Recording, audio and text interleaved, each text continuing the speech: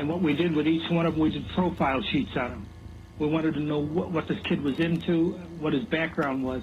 When they paint the image that I was this monster who, who picked up like these altar boys along the street and swatted them like flies, I said, this is ludicrous. Michael Rossi, David Cram, and Philip Paskey, all employees of PDM contractors, all with keys to the house on Summerdale.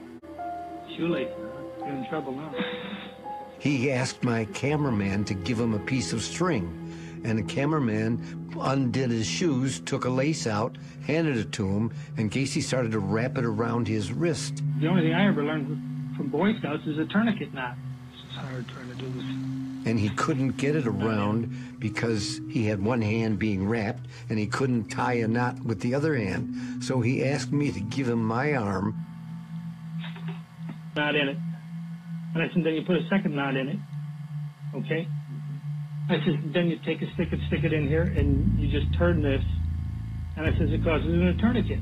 Precisely the kind of knot found on the ropes wrapped around the necks of the victims found under the house on Summerdale.